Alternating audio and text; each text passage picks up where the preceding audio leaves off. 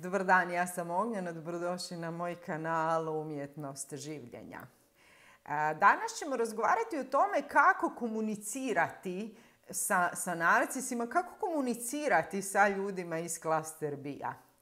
E, prije nego što krenemo, e, hvala vam što ste tu i hvala vam što me pratite, hvala vam što odslušate reklame. Također vam hvala ako me zapratite na Patreonu, to mi puno znači. Na taj način izravno podržavate moj rad. Za neko osnovno članstvo na Patreonu imate e, sav ovaj sadržaj bez reklama, a za najviše e, stupnje članstva i za, najviši, za, najviši, u biti kategoriju članstva imate čak jedan, uz ostale benefite, imate jednu coaching sesiju sa mnom znači mjesečno, tako da e, taj najviši stupanj, najviša kategorija članstva na neki način samu sebe isplati već tim jednim benefitom. E, u svakom slučaju hvala vam za sve i hvala vam za suport. E, sretna sam u ovoj našoj zajednici i lijepo mi je raditi s vama. Pa hajmo mi na posao.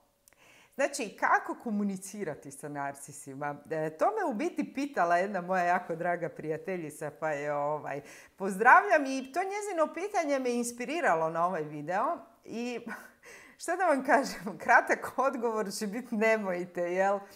I naravno da to svi znamo, tako da, da, je, da, je, da je to sve tako linearno i jednostavno ne bi bilo ovog videa. Međutim, e, na neki način ljepota života jest to što nije linearan, nije jednoznačan i nije crno-bijeli svijet, jel? Život je pun, pun sivih zona, pa tako i ti neki narcisi u našim životima, kako bi vam rekla, ja sam, možda ste to već shvatili, e, ja sam vam klasa optimist. Ja volim gledati da iz svega toga se može izvući nešto dobro. Znači, ono što sam ne jednom rekla, poanta je šta god nam se dogodilo, eh, iz, neke, iz te pasive izvući aktivu. Evo, to je ono što ja vama želim i možda je to osnovni, eh, osnovni eh, motivator i za ovaj kanal. Znači, nađite aktivu u pasivi. Znači, život nije crno-bijeli i nerijetko mi e, ne možemo otići no kontakt sa narcisima. Inače, no kontakt je dobar ako smo iznimno, e, u biti ne toliko empatični, nego ako smo iznimno suovisni, onda ne znamo postaviti e, granice u odnosu. Jer ono što sam rekla, e, suovisnost, znači empatična suovisnost i narcisoidni poremećaj ličnosti su u biti dva polariteta. Znači, ljudi koji su suovisni i empatični, pritom oni se jednostavno prožmu kroz druge ljude i ne znaju znači, gdje završavaju oni počinju drugi, a ti kroz koje se prožmu su uvijek znači, negdje unutar klaster bija, najčešće narcisi koji crpe znači, energiju. I sad kad osoba ne zna povući jasnu granicu i, i reći e, dosta sada, Znači, dođemo do, toga, dođemo do tog e, prožimanja koje je pogubno za suovisnog empata. I zato, baš zato što ne, znate, što ne znamo povući tu granicu je najučinkovitije napraviti no kontakt i onda, e, i onda anulirate taj problem.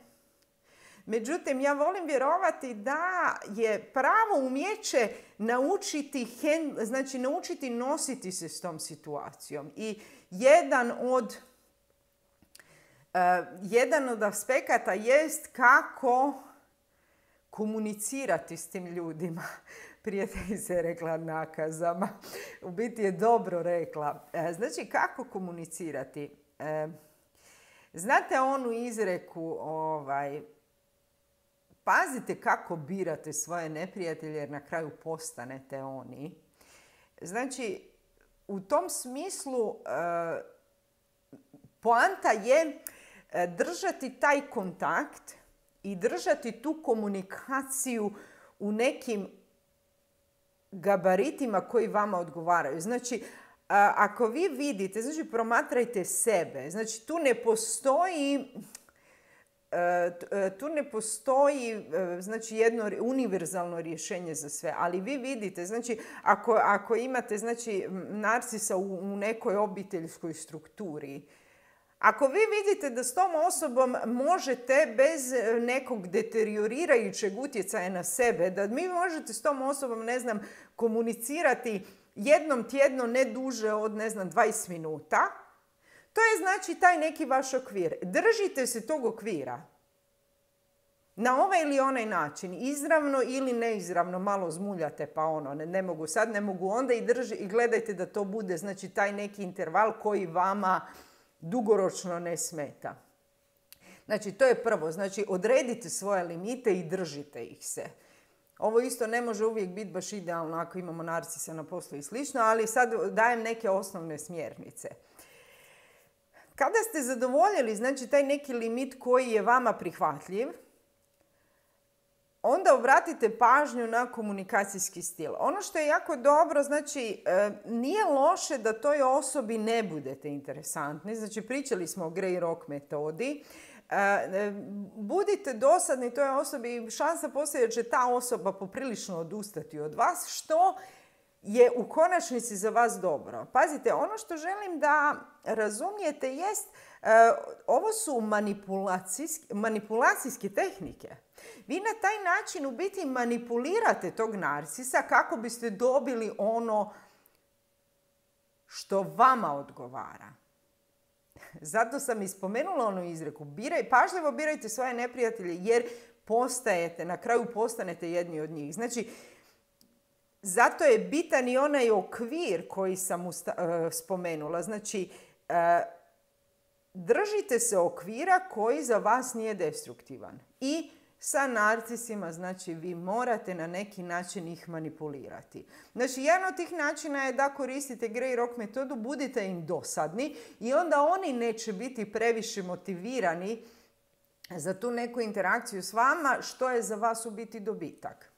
Isto tako, e, e, druga je dimenzija kada vi od tih osoba ne da izravno trebate dobiti nešto, nego recimo ih trebate navesti da učine nešto što je potrebno. Iz bilo kog razloga. Znači, ne znam, trebate, sad mi ne pada ni jedan primjer na pamet, ali recimo, ne znam, želite navesti tu osobu da, ne znam, jednom tjednu uradi nešto. E, vi sa e, osobom koja nema poremeća ličnosti, vi s tom osobom razgovarate na način čuj, želim da e, jednom tjedno, ne znam, opereš auto.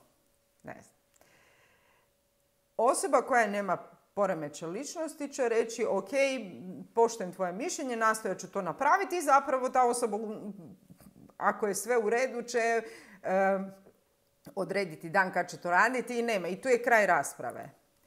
E, sa narcisom ova komunikacija neće ići tako linearno zato što E, znate, narcisi su ljudi, ako, kad vi tražite od narcisa nešto, narcisi se uklapaju u onaj profil, znate ono kad kažu ono,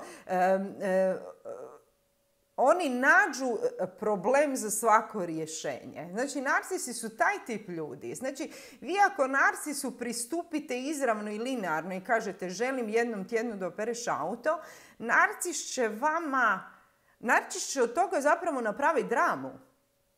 Jer narcis nije čuo želim da jednom tjedno opereš auto. Ja imam dojam da narcis kada mu tako nešto kažete ili joj, narcis čuje e, ti si moj podanik i radit ćeš sve kako ti ja kažem i e, ja sam iznad tebe i zato ću ti narediti da činiš po volji mojoj, a to je jednom tjedno operi auto.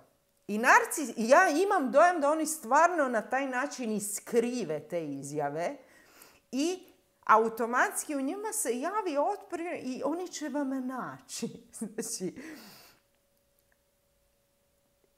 nebrojeno objašnjenje i razloga zašto to neće činiti, zašto to nema smisla, zašto, zašto su to glupa očekivanja i uostalom zašto da se robuje jednom auto. Znači, u naravi neovisno u kom smjeru će otići E, argumentacija narcisa, poanta je da ta argumentacija neće ići u vašem smjeru, koji je u biti konstruktivan. Jer da se mi razumijemo, e, niko nije umro zato što auto nije bio opran, kao što niko nije umro zato što auto je bio neopran. Jel? Znači, to nisu velike stvari u životu, ali potpadaju pod ono što se, ajmo reći, naziva neka životna higijena. Znači, neka životna disciplina i u, u krajnjoj liniji samopoštovanje. Jel? Tako da, međutim, narcis to stvarno ne vidi tako. I sad, da biste vi dobili narcisa da u biti to učini, eh, vi trebate ići znači, narcisovim načinom. Znate kako je rekao Marquez? U lovu na vještice metla je najbolja puška. Znači, vi trebate navesti narcisa na pomisao da je to u njezinom, odnosno njegovom najboljem interesu. Znači, sa konkretnim slučajem, ne znam, pranja auta, vi možete reći nešto kao, jao, kako ti je divan auto, baš, baš ti dobro leži. Najljepše je kad se onako sjaji to.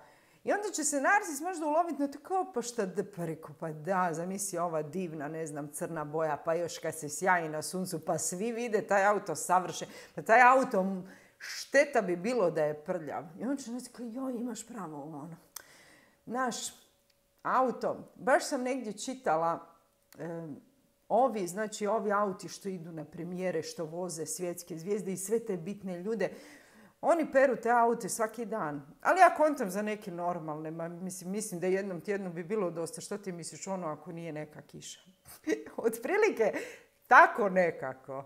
E, nadam se da mislim, improvizirala sam ovaj razgovor, ali nadam se da sam dobro dočarala koncept. I evo, nadam se da vam je to, znači, jasno. Znači, poanta je kako razgovara s tim ljudima manipulativno. Znači, vi se morate pretvoriti u manipulatora da biste imali i ole suvisli razgovor s tim ljudima, tako da u tom smislu E, nije to neizvodivo i ono što se kaže kolokvijalno nije to sve to pismo.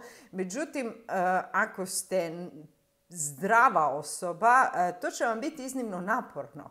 Jer to stvarno je jedna suvišna mentalna gimnastika koja vam u biti ne treba, mislim, e, šteta je troši svoje intelektualne kapacitete na tako trivialne stvari, jer to jesu trivialne stvari. I upravo zbog toga je ono što sam rekla, znači limitirajte te, e, te interakcije vis-a-vis vas. Koristite vrijeme za sebe, dajte vrijeme sebi. Dajte vrijeme sebi i kako biste živjeli e, život koji vas je dostojan. Evo, to vam ja želim. E, hvala vam na ovom razgovoru i hvala vam što me pratite. E, pretplatite se na moj kanal ako želite raditi sa mnom. Pošaljite mi mail, zapratite me na Patreonu. A do sljedećeg razgovora budite mi zdravo, dobro i veselo. Ćao!